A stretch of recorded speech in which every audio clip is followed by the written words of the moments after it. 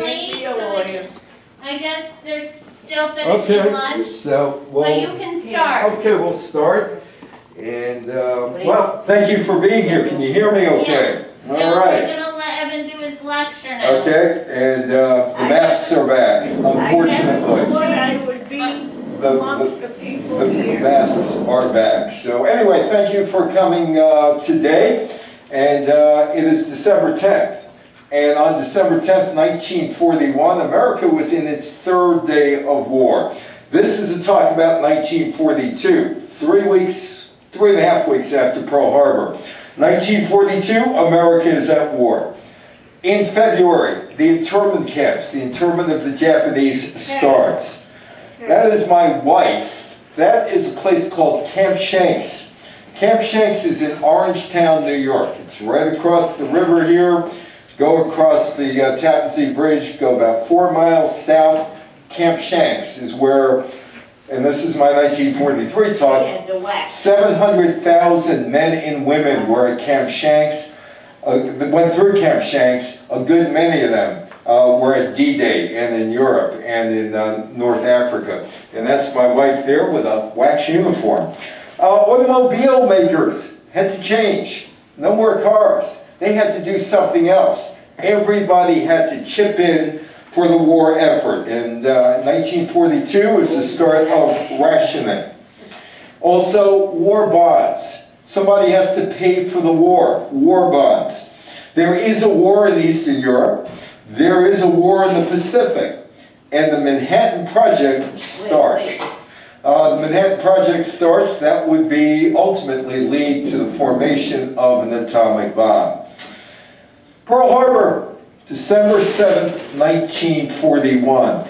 But it could should come as no surprise that Pearl, Harbor should be under attack at some point. Because going back to the 1840s, 1840s, America decided Hawaii should be America. And that is going to be the spot in the Pacific that the United States was going to control its destiny from in terms of wars and other things. Uh, the United States would finally annex uh, Hawaii around 1900. It would become a territory. Shortly after that, they looked at uh, this uh, inlet, this little channel uh, called Pearl Harbor. It's, that's perfect for the military. Spent about $3 million in straightening out the channel, put the Navy in Pearl Harbor, the United States territory, going back to the 19 teens. So, it's Jan January 1st, uh, 1st, 1942. Now, you said you were eight or nine years old, right? 1942? How many of you were, were around on January 1st, 1942? So, while we talk, you could tell me about your experiences. I've had people tell me about their experiences in the last week in Brooklyn, collecting stamps for uh, war bonds, planting victory gardens, among other things. So, America's in its 24th day of fighting on January 1st, 1942. Uh, it's more than two years since Germany had invaded Poland.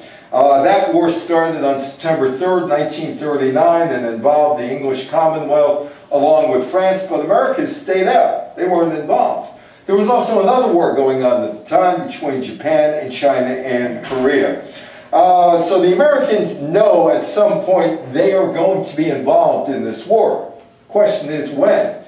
Well, the Japanese, um, there was a surprise attack on Pearl Harbor December 7th. Much of the United States naval fleet was damaged or destroyed. 2,400 Americans were killed. And here's another picture of Pearl Harbor uh, after the attack. How many ships did they sink? Uh, they sunk seven, but I get to that in a minute. The attack started at 7.48 in the morning in Oahu, Honolulu, which was 12.48 in the afternoon in New York. Uh, over the years, I've talked to people about what New York was like the day of Pearl Harbor, including the owner of the New York Giants. I covered sports, Wellington Mara. Giants playing a home game at the Polo Grounds. All of a sudden, there's this announcement, will all physicians in attendance please report to a certain gate? Wellington Mara was a young kid at the time, he said that um, he didn't know what it meant. Well, what it meant was they got early word that Pearl Harbor was attacked. Uh, of course, that was on um, CBS Radio, John Daly. Uh, Pearl Harbor has been attacked. There was a New York Rangers hockey game that was on against the Montreal Canadiens on Channel 1, WNBT in New York, now Channel 4, and they interrupted that to announce that Pearl Harbor was attacked. The base was attacked by 353 Imperial Japanese fighter planes, bombers, uh, and torpedo planes in two waves, and uh, six aircraft carriers uh, uh, were hit. All eight U.S. Navy battleships were damaged, um, four of them sunk. All but the USS Arizona were later raised, and six of them returned to service as the war went on. Franklin Roosevelt, was he doing December 7th, 1941? Well, funny you should ask, because I asked him when I was up in Hyde Park. He and Eleanor were, they, they were nice hosts if you look at them. They're all smiles, right? And they have some books for you. A little stiff, didn't have much to say. But I went up there because I had some things I wanted to talk to him about, uh, including the 1936 Berlin Olympics. Uh, Berlin Olympics, uh, basically legitimized the Nazi regime of Adolf Hitler, called the Hitler Olympics. And I worked with Marty Glickman back in the late 1980s at his uh, broadcasting school. And he was supposed to run in the 1936 Olympics as part of a relay team. And um, I once said to uh, Marty after I said, you know, Roosevelt gave the okay. He didn't think athletes should be involved uh, in policy making, and it legitimized the Nazi regime. Was he right or wrong? Now, Marty never competed in the Olympics. He and Sam Stoller, who I also knew, who ran the Millrose Games, were pulled out by Avery Brundage um, and weren't able to run because they were afraid, the United States team, that these two Jewish guys, one of them from Brooklyn, the other from New York, Marty's autobiography was the fastest kid in Brooklyn. He was 18 and was the fastest kid in Brooklyn. Would have won gold medals, and that would have embarrassed the Fuhrer. Uh, so he told me, and he condemned Avery Brundage every day of his life for stealing his opportunity to win a gold medal. He said there were about four or five other Jews, besides Sam, that were from the United States competing for the U.S. Olympic team in 1936. He said it was the right decision. Well, that decision actually legitimized Adolf Hitler. There were about 50 nations that went to the 1936 uh, World uh, Olympics, and uh, Hitler became more emboldened after that because he saw, hey, look, we're, we're nice Nazis during the Olympics, but as soon as the Olympics were over, they showed their true colors. Uh, also, Roosevelt was the first on TV in 1939 welcoming people to the New York World's Fair. And later on, 1942, he does something with baseball for the good of the morale of the country, and I got answers to all of that. But getting back to December 7th, so it's early afternoon. Franklin Roosevelt is meeting with his chief foreign policy aide, Harry Hopkins, and he gets a telephone call from the Secretary of War, Henry Stimson. Pearl Harbor has been attacked. And this is a major, major deal the United States and Japan had had some negotiations 1941. Allegedly, this is a surprise attack. Uh, about 5 o'clock in the afternoon, he's done meeting with uh, his military advisors, and Franklin Roosevelt calmly and decisively dictates to his secretary, Grace Tully, a request to Congress to declare war. Why Congress? It's pretty simple. Congress has the power to declare war. The president cannot declare war, although the, the, uh, the Gulf War, the subsequent invasion of Afghanistan, the Iraq War, uh, weren't exactly approved by Congress. That was presidential fiat. But back then, the Congress did have to declare war. So here it is. It's December 8th, 1941. It's a Monday. And Roosevelt goes before Congress and asks for a declaration of war against Japan. Calls December 7th, a date which will live in infamy. And told the U.S. Congress that the nation was in grave danger. It's uh, a bust of FDR up at Hyde Park, a date that will live in infamy. How many of you remember the him saying that. You were there? You were there? No, but all the rest of you. The radio, you heard it on the radio back then. You heard it on the radio. Yesterday, December 7, 1941, a date which will live in infamy, the United States was suddenly and deliberately attacked by naval and air forces of the Empire of Japan. Congress voted to go to war. Everybody in Congress except one woman. Uh, her name is Jeannette Rankin. She was a member of Congress before your mother voted in 1920. She was a member of Congress in 1916. She voted against World War I in 1917, American participation in World War I. She voted against participation in World War II. And fast forward here for a second to January 19th, 1968. Vietnam is raging at that point, lots of demonstrations.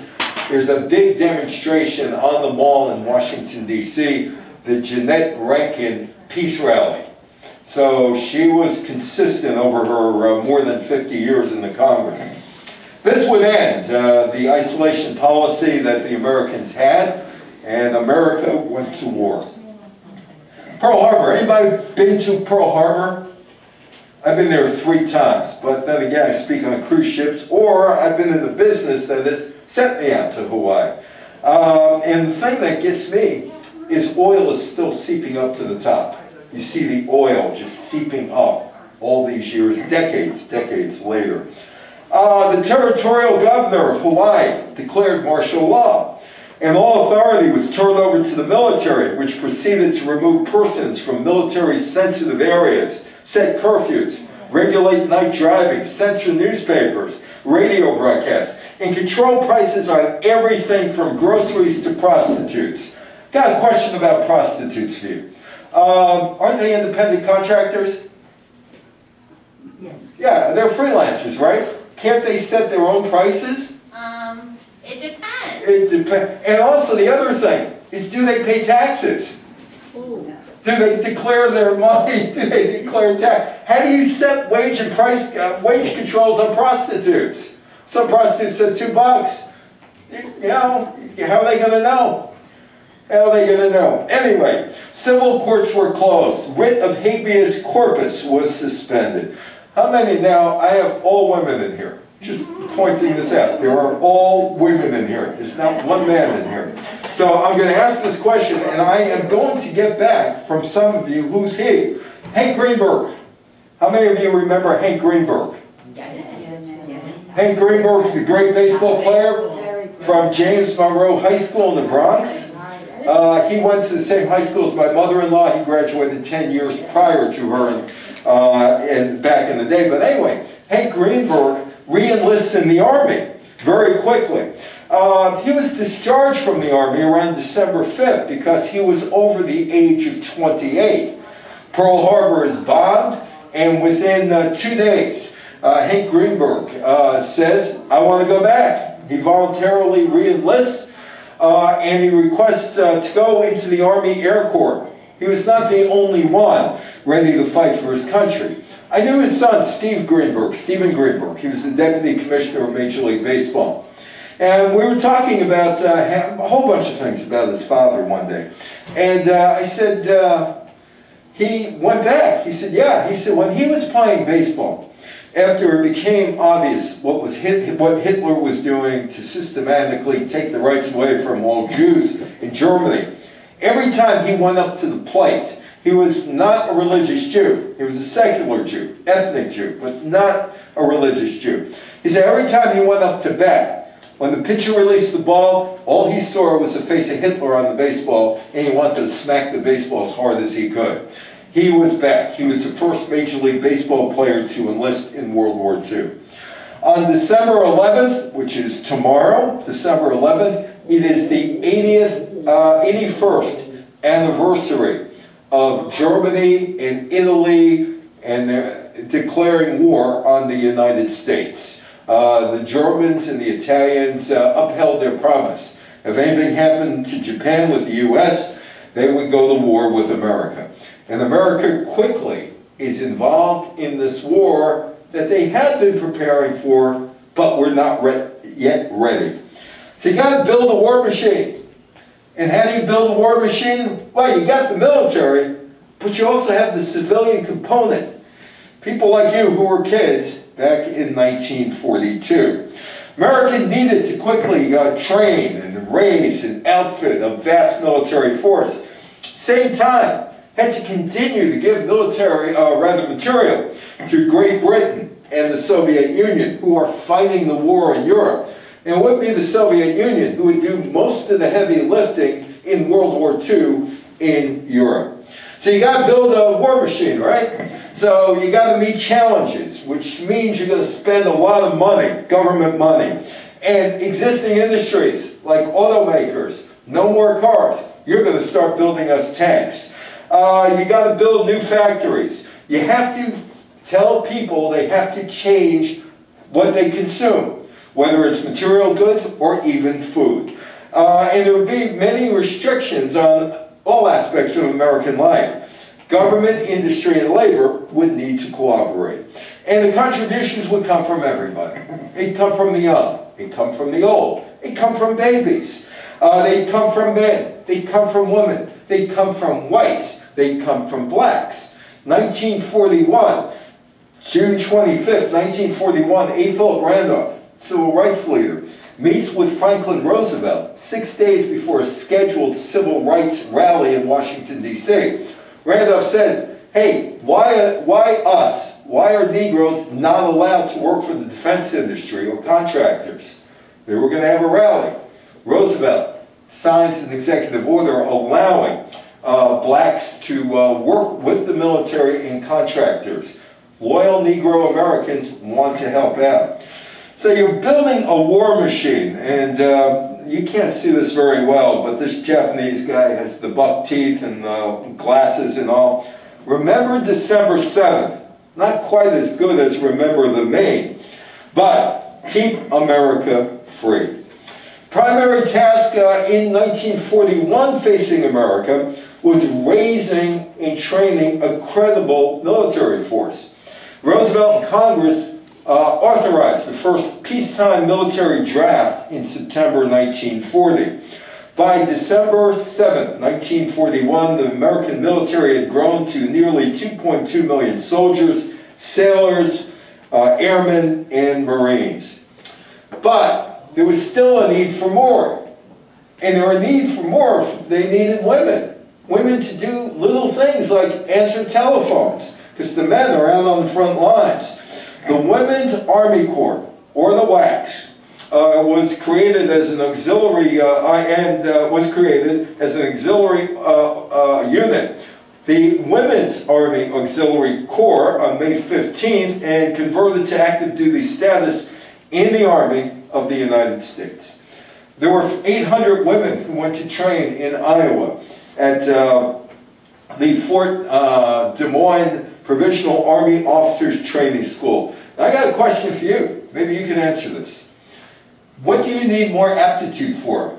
Working a telephone switchboard or fixing a tank? What do you, who, who, would, who would you pick?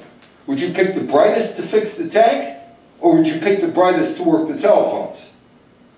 What do you think? Well, I'm going to answer it. I'm going to answer it. Uh, the brightest were picked to work the switchboards. They were, uh, were, they were the ones who worked the switchboards. Uh, the WACS uh, was first trained in three major specialties. The brightest and nimblest were trained as switchboard operators. Next came the mechanics. They were second in intelligence, who had a high degree of uh, mechanical aptitude and problem-solving ability. I would think they would be first, but they were second. The Bakers were the lowest uh, scoring recruits. The Waves. The Waves. She's helping to win. How about you? The Waves. The Waves were women accepted for volunteer emergency services. Were established by the United States Congress, signed into law by Franklin Roosevelt during July. The establishment of the Waves made it easier for the Navy to fill clerical and office roles at home in shore stations while allowing the men to return to sea duty. Civilians, you have a role now. You have a role. Well, people who are still working at the Chrysler plant aren't turning out cars anymore. They're turning out tanks. The American economy had to be converted to war production. Millions of men and women entered the service, which meant changes in American life. The need for labor uh, opened new opportunities for women. Women could go to work till the end of the war, and then they were sent back home. African Americans and other minorities. America at war. A card. Oh, I remember that. You remember that? On the windshield. On the windshield of the car, you could get three gallons of gas. You could get three gallons of gas. America at war. Don't you know there's a war going on? Was a common expression. Rationing became part of everyday life. Americans learned to conserve vital resources. Americans lived with price controls, dealt with shortages of everything. From nylons, they were telling me that uh, the other day, some woman was telling me that her mother used to draw a line on the back of her stockings, making believe it was nylons. Uh, to housing, volunteering for jobs ranging from air raid wardens. You'd be surprised, I've given this talk all week, you'd be surprised how many women were air raid wardens around the New York area. And uh, Red Cross workers. Here was your ration card in your envelope. Uh, even babies had rationing cards, even babies. Um, in May, the U.S. Office of Price Administration froze prices on practically all everyday goods, starting with sugar and coffee. With ration books and tokens, uh, they, ration books and tokens were issued to each American family. They told you how much gas you could get, how many tires you could get, how much sugar you could get, meat, silk, shoes. You were down to one pair of shoes a year. One pair of shoes a year. Nylon and the other uh, items only one person could buy. A wartime edition cookbook. The American Women's Cookbook contained revised recipes and gave advice on dealing with food shortages. Hey, Donald Duck had a victory garden. How many else had victory gardens? How many of you remember victory gardens? Where'd you come from? We didn't have one. We You- didn't have a John knows John. Well, this guy the other day was telling me, he says, grew up in Brooklyn. I said, only a tree grows in Brooklyn. He said, no. He said, you know when they knock down houses, it'd be empty lots? He said, we clean up the empty lots and we'd become a victory garden. So uh, there's Donald Duck, and he's telling the Nazi, uh, the, the Nazi uh, pest, keep out. Donald Duck. To conserve and produce more food. Uh, Food for Victory campaign uh, was launched. Eating leftovers became a patriotic uh, duty. Uh, it's just not Thanksgiving. It was every day. You should eat some leftovers.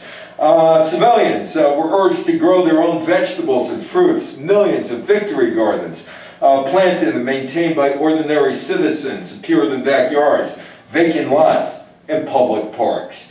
Make do or do without. Do with less so they'll have enough. Everything has to go to the military. Everything has to go to the military. May do or do without. War production created shortages of critical supplies. Uh, to overcome these shortages, uh, war planners searched for substitutes. Uh, for instance, copper. Copper was in very limited supply because they needed it in war-related uh, action, uh, including assault wire. Uh, the military needed millions of miles of this wire to communicate on battlefields. So copper was one thing you had to do without. Uh, the military needed more than guns, and the ammunition steward's job needed food, but it depended on you to help them. Uh, they had to be fed. The Army standard K ration uh, included chocolate bars produced in huge numbers. Cocoa production was increased to make this possible. Sugar was another ingredient in chocolate. Sugar was rationed to civilians. Cigarettes, on the other hand, they, they had more than enough cigarettes. Uh, more than enough cigarettes. That was not a problem. How many of you would like to ride around on wooden tires? wooden tires. Well, it became an option because rubber was not available. Uh, the American military needed millions of tires for uh, jeeps and trucks and other vehicles, and the tires made out of rubber. Rubber was also used to produce tanks and planes. But rubber becomes, uh, rubber, there's a rubber shortage because the Japanese Imperial Army controlled the Dutch West Indies uh, from March 1942 until they surrendered in September 1945, creating a shortage of rubber that affected American production. Speed limits, speed limits. Can go over a certain uh, speed limit. Gas rationing. You had to limit your driving. 17 states east of the Mississippi, you got just three gallons a week, which translated to about 45 miles a week. That's all you were allowed to drive. Um, this also reduced wear and tear on tires. A synthetic rubber industry was created. The public was also told to carpool, and if you have any rubber, contribute it or think about recycling it because we need it for scraps. I don't know how many of you remember your war ration book number one. Remember it? You remember it? You were little kids, but you got a ration book, right? Little kids. The United States government created a system of rationing, limiting the amount of certain goods that a person could purchase. The war also disrupted trade, limiting the availability of some goods. And some of your parents went to a store like this, because there were a lot of little grocery stores. You handed in your ration card, gave the guy some money, and he gave you pears and, and peas and whatever else uh, she was buying at the time. Americans received their first ration cards in May. The first card, war ration card number one, became known as the sugar book. For one of the commodities Americans could purchase was sugar with their ration card. So Roosevelt warned you, he said American life's going to change, at least that's what he told me there. Well, he's kind of, he kind of mentioned it to me uh, when I was up there. Uh, on January 1st, sales of all cars and as well as delivery cars to customers who had purchased them. Uh, they were all frozen by the American government's uh, Office of Production Management. And here's how things are evolving. January 10th, the freeze order uh, is amended to permit the sale of cars to the following categories. Oh, yes. Army, Navy, U.S. Marines, Commission, uh, Panama Canal Zone, and other certain government agencies. Also, if you had a one, A1J or higher preference rating, uh, you could get a car. Uh, contractors with the Army, Navy uh, could also uh, get uh, cars with that kind of uh, rating. So you made tanks, not cars. And tanks were made. Automakers not only built tanks, but there were trucks and airplanes and jeeps and torpedoes and helmets. Factories were stripped down to make way for new equipment, and many car parts were remelted at steel mills to use in the war effort. I don't know how many of you remember a poster like this, but it said, wanted for victory, Yeah. waste paper, Yeah. oil rags, Yeah. scrap metals, old rubber. Get in the scrap, sell to a collector or give to a charity. Come on, scrap days, scrap days, scrap days, help us out, help us out. In October, the United States government increasingly encourages U.S. citizens to donate and gather scraps and fabrics for the war effort. Scrap days, anybody remember scrap days? Back in then? Scrap days are held throughout the country and ask ordinary people to take any scrap materials they could get their hands on, take it to the local scrap merchant. The scrap would then be used to create the materials needed to build tanks, guns, ships that were desperately needed. I told you I'd go up to uh, see Franklin Roosevelt and um, got to ask him about baseball. How many baseball fans are here? Any? Any baseball fans? No baseball fans. Okay, that's fine too. Baseball was so woven into the American culture. You were a baseball fan? I knew a man who made a fortune in baseball. Oh, baseball, baseball cards. Anyway, baseball is so interwoven in the American culture. There was Casey at the bat, which school kids had to read. Take Me Out to the Ball Game, still sung today. Uh, and that is now, uh, what, uh, 114 years after the song was written. who's on first, what's on second, all of this. Yes? My name is Casey, and everybody calls me Casey at the bat. But what is that? Casey at the Bat was a poem about a guy back in the 1888 or so, uh, written uh, by Ernest Thayer, who has a chance to win a baseball game playing for the Mudville Nine, gets up in the bottom of the ninth inning, bases loaded, has a chance to win the game, and he strikes out. It's all about man's failure. That's what my English teacher, Miss Alexander, told me back in 1965. It's a throwaway poem, but it's part of baseball. It's part of baseball. It's part of American culture. Anyway, so that's uh, the baseball commissioner, Kennesaw Mountain Landis, Judge Kennesaw Mountain Landis. And uh, baseball had stopped playing in 1918. They cut the world uh, the season short, played the World Series because of World War One. And Landis, and like a lot of other people running industries, trying to figure out, well, this is an entertainment industry. What are we supposed to do? On January 14th, uh, Landis uh, didn't know if baseball should plan for the 1942 season. There were 16 major league teams, about 300 minor league teams. And he sends a letter to Franklin Roosevelt asking for guidance. And here is the letter that was sent to Roosevelt. If you believe we ought to close down for the duration of the war, we're ready to do so immediately. If you feel we ought to continue, we would be delighted to do so. We await your order. There was never an order given. It was Roosevelt's personal opinion. There was never Roosevelt saying, play ball or don't play ball. FDR responds, this thing is called the Green Light Letter. It sits in baseball's Hall of Fame. There's also a copy of this up at Hyde Park at, um, at Roosevelt's Presidential Library. The Green Light Letter. I honestly feel it would be best for the country to keep baseball going. Baseball provides a recreation which does not last over two hours or two and a half, and which could be gotten at very little cost. Incidentally, I hope that night games could be extended because it gives an opportunity to the day shift to see a game occasionally. Roosevelt thought that by keeping baseball going, it would be good for the morale of the country. Uh, this has to be in the Pacific Northwest. My daughter lives in Seattle, and at this time of year, it gets light about 8 o'clock in the morning, and as we go into January, it gets light around 8.30. Could be Alaska as well. Um, more than likely not the east coast of the United States. This has to be in the winter, 5 a.m. till dawn daily. Blackout. Anybody lived through blackouts? You live through a blackout back in the 1940s? Yeah. People have told me they've lived through a blackout, and basically all the lights are shut. You had blackout curtains, and basically it was to keep German planes from knowing what was going on, even though the German planes could never reach uh, the United States.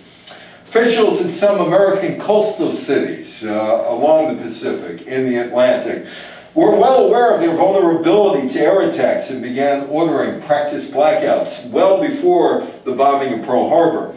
May, on March 8, 1941, Seattle became the first major American city to test its blackout procedures. You can't see this back there, but this is the St. Louis skyline, St. Louis skyline with all the lights, and this is the skyline. It's pitch black uh, during the practice blackout, and this is St. Louis blackout drill. It was December 14th. St. Louis had the, its first blackout of World War II. And German planes were not equipped to fly across the Atlantic. The Japanese planes couldn't fly across the Pacific. And St. Louis is right in the middle of the country. So more than likely, St. Louis wasn't going to get bombed, but they prepared for the worst. How many of you remember Ebbets Field in Brooklyn? Ebbets Field, right? There's Ebbets Field in Brooklyn. One of the first baseball, Major League Baseball parks to get lights. Well, it's 1942 in New York, and office buildings and apartment houses throughout the city are required uh, to veil windows more than 15 stories high. Stores, restaurants, bars tone down their exterior lighting. Street lamps and traffic signals had their wattage reduced And a woman was telling me before I even got to this, she said they used to put hoods on the lights of cars, uh, on the lights of the cars. So you couldn't really see that they had their lights on driving at night. Night baseball was banned. Night baseball was banned. Yankee Stadium, Polo Grounds, Ebbets Field, couldn't play night baseball. The Statue of Liberty's torch did not glow. Meanwhile, everybody was encouraged to buy war bonds. War bonds. And. Bonds were available in denominations of 25 to $1,000, but they were designed to be affordable to everybody. For 10 cents, for 10 cents, people could purchase stamps, which could be placed in albums. When you filled up the album, you could redeem it for a war bond.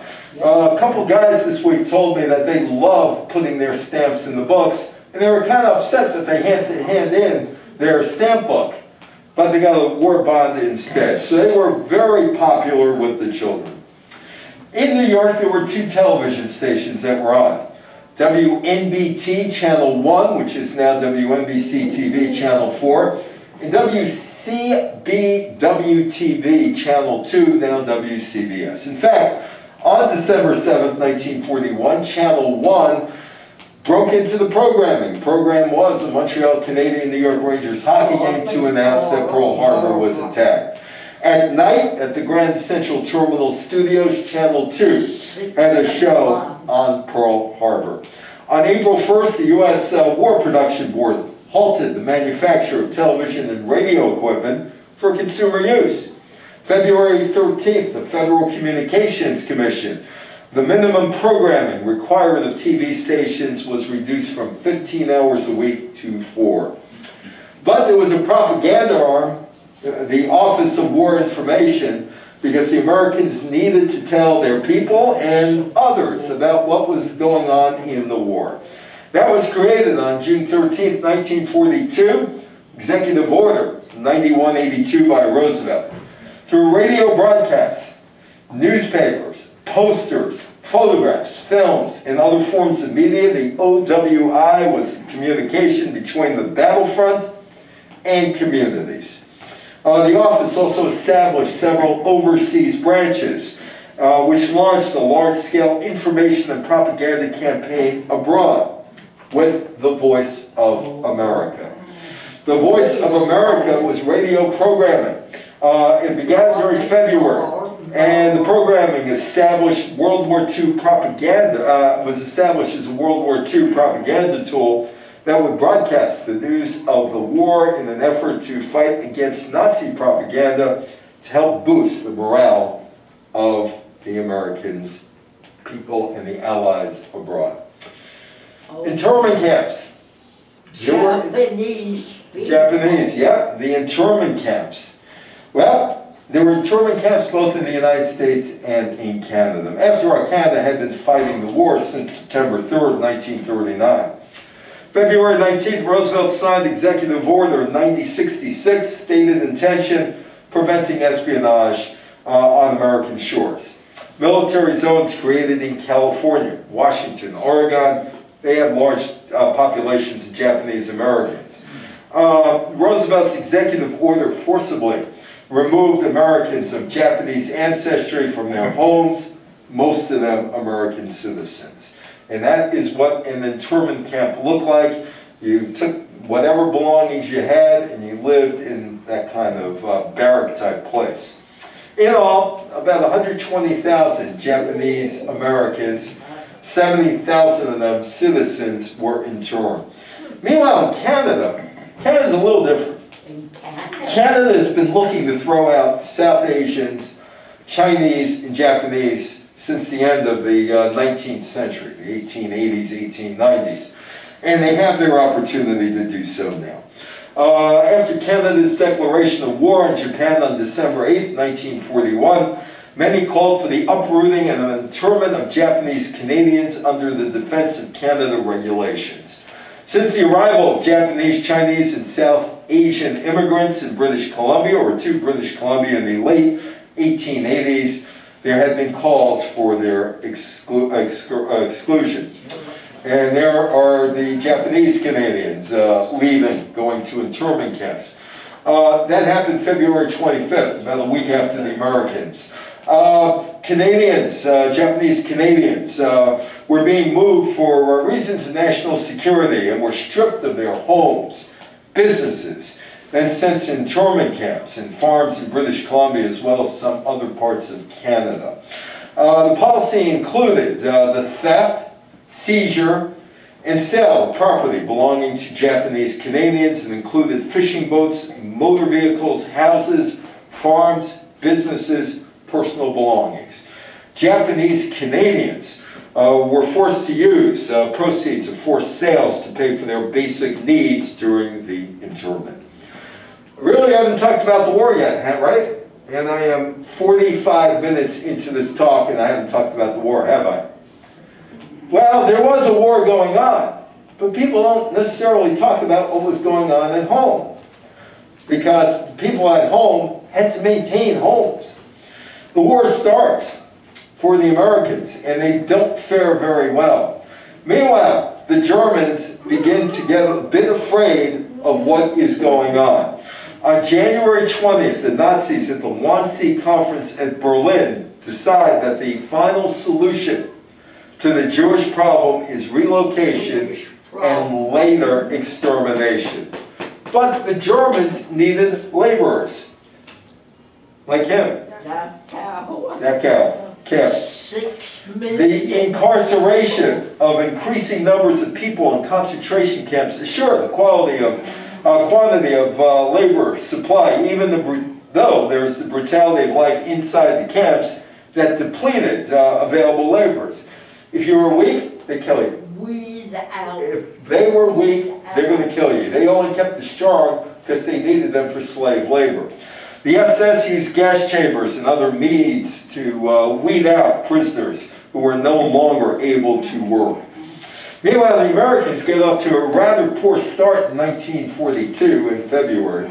The Allies' attempt to intercept the Japanese uh, invasion fleet was defeated in the seven-hour Battle of the Java Sea on February 27. Five Allied warships uh, were lost and only one Japanese destroyer damaged. Japanese landed at three points on Java Island on February 28th and rapidly expanded their beachheads. On March 9th, 20,000 Allied troops in Java surrendered. Japan took over the United States territory of Guam, the English territory of Hong Kong, Wake, Singapore, American territory, Philippines. Uh, the Japanese initial war plans were realized with the capture of Java, but they hoped that Americans would capitulate and that Americans would surrender immediately. It doesn't happen. General MacArthur leaves the Philippines. I shall return. Um, Roosevelt gets him out of there. He abandons the island fortress of Corregidor under orders from Roosevelt. He leaves behind 90,000 American and Filipino troops. The Filipinos were American citizens who lacked food, supplies, and support would soon succumb to the Japanese offensive. The Bataan Death March. The Bataan Death March takes place. Um, forcible transfer by the Imperial Japanese Army of somewhere between 60 and 80,000 American and Filipino prisoners of war from Bataan to Camp O'Donnell. Prisoners were forced to march despite many dying on the journey. Transfer started April 9th after the three-month Battle of Bataan in the Philippines, and people had to walk somewhere between 60 and 69 and a half miles. Psychologically, though, the Americans score big on this one. The Doolittle raid. What? The Doolittle raid doesn't really do any damage to Japan physically. Mentally, it does, or psychologically. April 18th, 16 U.S. bombers raid Tokyo. Not much damage, but the locals, the raid stunned the Japanese population because Japanese leaders promised that uh, the mainland would never ever be attacked. But there's also, also something else going on. Uh, the Americans uh, get some intelligence and they detect Japanese planes trying to see, seize Port Moresby and uh, Tulagi in the south, southern Solomon Islands. Also, there was the Battle of the Coral Sea, and that starts the turnaround for Americans. Early May, U.S. and Japanese carrier forces clashed in the Battle of the Coral Sea. Both sides suffered major losses. The U.S. Navy, though, checked a major Japanese offensive for the first time. The next battle is Midway, and the Americans win that one. Uh, it's a decisive victory. The battle takes place June 3rd through 6th. Uh, it's a successful defense of a major base located at the Midway Islands, and that dashes the Japanese hopes of neutralizing the United States Navy. The Battle of Midway effectively uh, would turn the tide of World War II in the Pacific. Meanwhile, in Europe, Stalingrad. Stalingrad, back in uh, Europe, the Russians are doing heavy lifting. They are doing all of the lifting in the battle against Germany. Uh, Germans um, had been marching through Europe since September 1st, 1939. But the Soviet Union forces launched a counteroffensive against the Germans at Stalingrad in mid-November. Uh, they quickly encircled an entire German army, more than 220,000 soldiers. The Battle of Stalingrad would eventually prove to be a decisive psychological turning point that ended a string of German victories, and the Germans began a retreat westward. And then there's the uh, Battle of Milne Bay in New Guinea. Uh, the Battle of, Mil- of uh, Milne Bay, uh, the United States and Australia fight the Japanese in New Guinea. It's a 13-day battle, August 25th through September 7th. The Japanese forces attempt to attack Allied airfields, Milne Bay, but they didn't realize how many troops were there. Uh, the Japanese forces abandoned their attack, marking the first major battle in which the Allies defeated the Japanese in land battle. Then there's Guadalcanal. Canal. That starts September 13th. Japanese launch a major offensive against the Americans. There, suffer heavy casualties. By December 31st, 1942, the Japanese planned to withdraw their troops at Guadalcanal after suffering heavy losses. Uh, the battle would end in February 1943. My father-in-law served in Africa, North Africa, Uh-oh. as a member of the Signal Corps. On uh, October 23rd, British forces attacked the German army at El Alamein in Egypt. On November 4th, the German army in North Africa is in full retreat after the defeat at uh, El Alamein uh, at the hands of the British 8th Army under General Bernard Montgomery. Meanwhile, there's a project going on at Columbia University. It's called the Manhattan Project eventually. And it's basically, let's see if we can build an atomic bomb. Let's see if we can do that. January 19th, Roosevelt authorized the atomic bomb project. In June, the U.S. Uh, Army established the Manhattan Project to handle its part in the atomic bomb project and began the process of transferring responsibility from the Office of Scientific Research and Development to the military.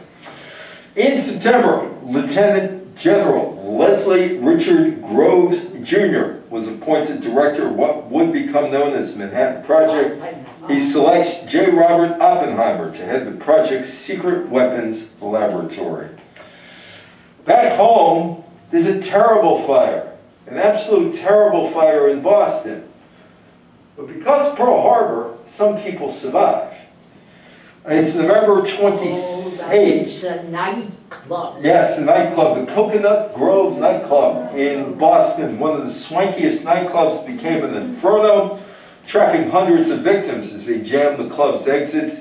In less than 15 minutes, 492 people were dead, 166 injured, making the blaze the deadliest nightclub act in nightclub fire in U.S. history. You must remember this. A kiss is still a kiss. How many of you remember Casablanca? How many of you like that movie, huh? You like the movie? How many of you like the movie? This is just a kiss. Here's looking at you, kid. Rick Blaine, Humphrey Bogart's character, owns a nightclub in Casablanca. Discovers his old flame Ilsa, Ingrid Bergman, is in town with her husband Victor Laszlo, Paul Henreid. is a famed rebel, and with the Germans on his tail, Ilsa knows Rick can help get them out of the country, Morocco. Now I have a question for you for a second here. Let's see how many answers it. Play it again, Sam. Was played against Sam part of Casablanca? I don't understand. Yes, how many say that the, there was played against Sam in the movie Casablanca? How many say no? I don't know what it said. Casablanca, the famous line, Play It Again, Sam, was She that? asked him to play. She asked him. Okay, let's see if that ever happened. He said, Play It Again, Sam. It's a myth. He says, I Rick told you never to play that song. Yeah, Richard, Rick Blaine, Humphrey Bogart's character, never says play it again, Sam. No, she The line is not in the movie. Ilsa, play it once, Sam, for old time's That's sake. what it says. Sam, the piano player, I don't know what you mean, Miss Ilsa. Ilsa, play it, Sam. Play as time goes by. It was never said in the movie. Never. Bambi came out 1942. Bambi. Uh, this is not a feel-good movie necessarily. Uh, Bambi was an animated drama film produced by Walt Disney, based on the 1923 book Bambi: A Life in the Woods by the Australian author and hunter Felix Salten. Film was released by Howard Hughes uh, RKO Radio Pictures August 13th. The film did not perform as well as hoped because of the war. Disney could not get the uh, film into uh, the European market. I'm dreaming of a white Christmas. How many times have you heard that song? Many, many, many, many times. Written by a Jewish guy. Written by a Jewish guy by the name of Irving Berlin. You realize some of the best Christmas songs ever written were written by Jewish guys? Like Rudolph the Red-Nosed Reindeer? That was written by Johnny Marks. Anyway, White Christmas is an Irving Berlin song reminiscing about an old-fashioned Christmas setting. Except his family was, was chased through Russia. They were Jewish. Uh, so he made it all up.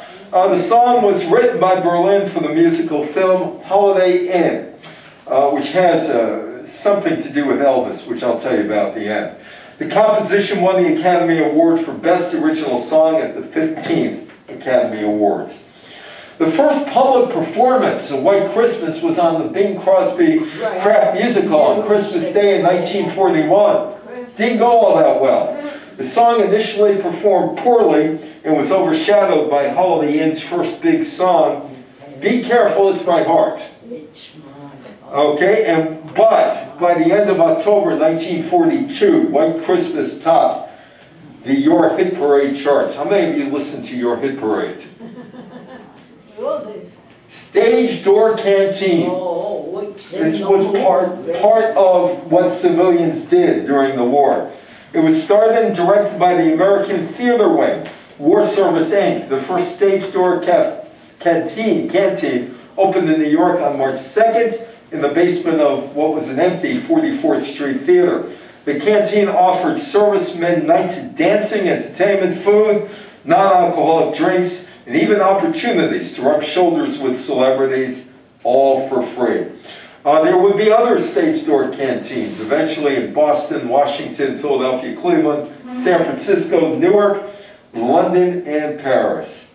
Thanks for the memories. Bob Hope's first overseas trip was in 1942.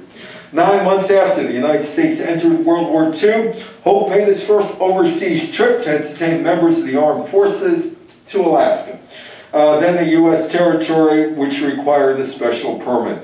The Nazis would track Hope, thinking if they bombed the area where Hope was in, they could take out several American uh, or Allied troops as well. This is where he went, Whittier. This is a clear day in Whittier. It's my wife, and uh, the fog is only down to here in Whittier. This is what Whittier generally looks like about 7 o'clock at night the military put their, um, they put people there, also their payload in there, because you couldn't detect it, couldn't see it. It was always under fog. I mean, can you see anything in that picture? That's why they went there. Uh, Hope was offered the commission in the Navy as a lieutenant commander. However, President Franklin Roosevelt intervened, indicating it was best if Hope continued to entertain troops from all over the armed forces. There were two hockey teams in New York, National Hockey League teams, the Brooklyn Americans and the New York Rangers. Brooklyn Americans didn't really have an owner, had a lot of bills, and didn't have a place to play. They were going to move to Brooklyn, and more importantly, they didn't have any players, because most of the players in the National Hockey League, about 98% of them at that point, came from Canada, and they were involved in the war. So uh, they suspended operations with the hopes of coming back after the war. They never did. 1942 legacy. The greatest generation. They probably were the greatest generation. They grew up in the Depression, went off to war. Um, it was not until uh, January 27, 1944, that the U.S. government told Americans about the Bataan Death March. Oh, by the way, how many of you were married to people who served in World War II? You were. Did your husband ever talk about World War II? Did he ever talk to you about? Anybody who had fathers in World War II? Because what you find, or what I've found, and many other people have found over the years, Belong. is that World War II veterans who served in Europe, who served in North Africa, who served in the Pacific, rarely ever talked about their experiences. They had a job to do, they did it, they came home and got on with the rest of their lives, which is part of the greatest generation. September 1945, the Japanese commander of the Bataan Death March, uh, General Masaharu Homma was arrested by Allied troops and uh, indicted for war crimes. February 26, 1946, he was sentenced to death by firing squad, executed outside of Manila on April 3, 1946. Hitler committed suicide April 1945. Yeah. Germany surrendered May of 1945. Japan surrendered September 2nd, 1945. Two weeks after, or three weeks after, two atomic bombs were dropped on Hiroshima and Nagasaki. FDR died on April 12th, 1945, and never saw the end of the war. Soldiers came home, didn't talk much about the war. America's isolation policy ended. 1942 legacy, the WACs and the waves. Uh, but there were problems, of course. At the end of the war, the uh, Navy established five separation centers for the uh, demobilization of the waves and for Navy nurses. Separation process began October 1st, 1945. Within a month, 9,000 of the waves had been separated by the end of 1946. 21,000 more had been discharged. The waves lasted until 1978. After World War II, the WACs had no legal uh, reemployment rights, no peacetime component, or even an inactive reserve. Without those rights, jobs for women would be scarce in peacetime. Congress provided reemployment rights for the wax and WACs on August 9th, 1946. That woman's Humphrey Bogart's mistress, my old pal, the late Verita Thompson. While he was married to Lauren Bacall, she was taking care of him as well. Uh, she was uh, runner-up Mrs. Uh, Arizona back in uh, around 1937. Tried to be a movie star, didn't make it, so she did something else. She made wigs and did hair. She did Humphrey Bogart's hair. That's how they met. Bogey, Bogey, and there she is when she's very young. She's very pretty. Um, she also owned a bar in New Orleans called Bogey's. She sold it to somebody named Gennifer Flowers. You ever hear of Gennifer Flowers? Gennifer Flowers, Bill Clinton's mistress, allegedly, took over the bar. Anyway, there she is in her Coco Chanel outfit, and that's Henry Mancini's piano back there.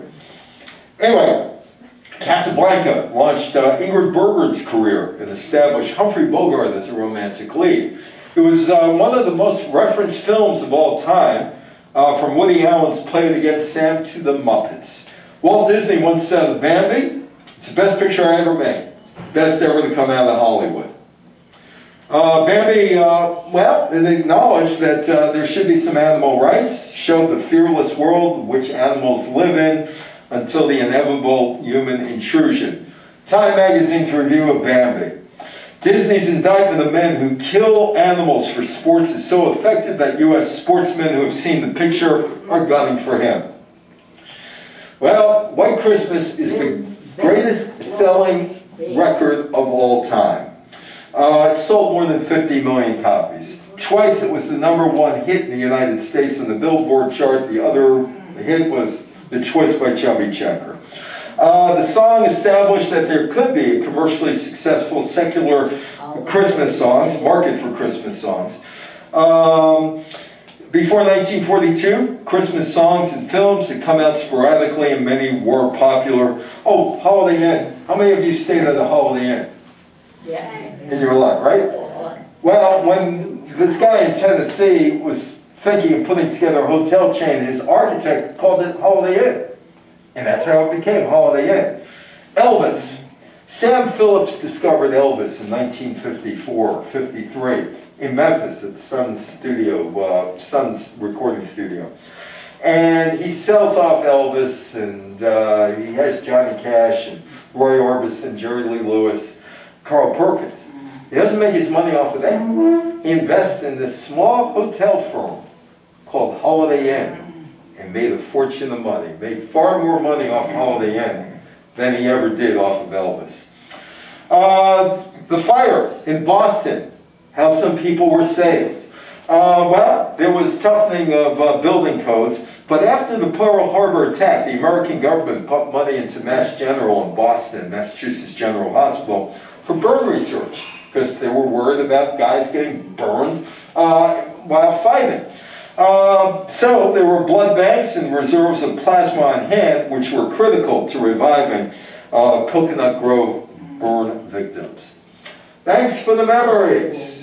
Thanks for the memories. Oh, 1997, U.S. Congress honored Bob Hope by declaring him the first and only honorary veteran of the U.S. Armed Forces. He did 48 Christmas shows. His final one, 1990, Operation Desert Storm, Saudi Arabia. Good old Humphrey Bogart's mistress, Verita Thompson, was a dancer. She went on one of those World War II tours with uh, Hope. She told me, she said, Bob Hope only demanded one thing out of you. Work as hard as, work as I do. And she said that Bob Hope was the hardest working guy she ever met in Hollywood. All you have to do to please Bob Hope is work as hard as he did. Well, baseball continued. Baseball continued with the green light letter, and uh, so did the National Football League and the National Hockey League. The Brooklyn Americans never came back. The next time the NHL added teams was in 1967 or 25 years later. And we live in Washington, D.C., the voice of America, still going strong. In 2022, the voice of America was used as a propaganda tool in the Russian-Ukrainian uh, conflict, um, and it supplied a pro-American message to those uh, in Russia who could pick up the broadcast. Thank you so much. Any questions or comments? It's up to you now.